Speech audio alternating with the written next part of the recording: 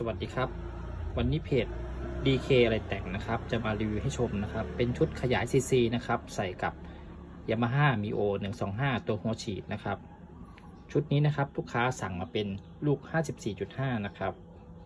ต้องการไปใส่กับฝาเดิมเรียนเดิมนะครับ เรามาดูรายละเอียดในชุดก่อนนะครับ เสื้อสูบนะครับเป็นเสื้อใหม่นะครับ ตีปอกเหล็ก ขวาลูก54.5 มิลนะครับ ปาดหัวลบวาลแต่งกระโปรงให้เรียบร้อยนะครับ สามารถใส่กับแข้งเดิมๆ ฝาเดิมๆ ได้เลยนะครับ มีแหวนลูกสูบสลักกิฟล็อก สลักเป็นสลัก 14 นะครับ ตรงรุ่น Mio 125 นะครับ ไม่ต้องแปลง ไม่ต้องใส่บูทปลายก้านนะครับ แคมแต่งนะครับ ตรงรุ่น สปริงวาลวแต่งนะครับ สปริงวาล์วที่ร้านผมนะครับ จะใช้เป็นสปริงวาล์วตัวใหญ่นะครับ มาคู่กับ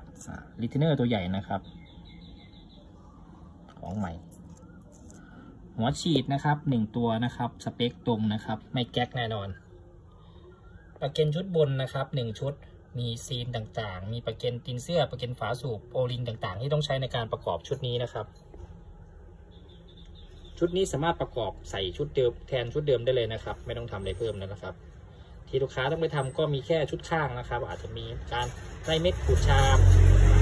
มีคัดทองแดงหรือว่าคัดคาร์บอนสักหนึ่งชุดก็ขับสนุกแล้วนะครับ ใช้งานทั่วไปสบายมากครับ จะเป็นแก๊ปเป็นไลน์แมนหรือว่าเป็นใช้ชีวิตประจำวันก็ง่ายๆเลยนะครับ ไม่จุกจิกเหมือนกับลูกโตๆนะครับ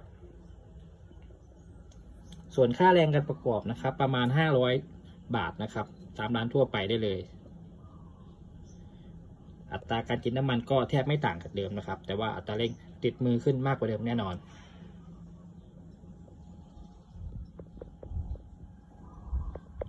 ชุดนี้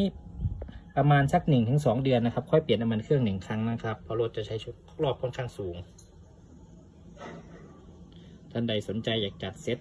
ก็ลองสอบถามเข้ามาก่อนได้นะครับ ใช้รุ่นไหนก็ถามได้ครับ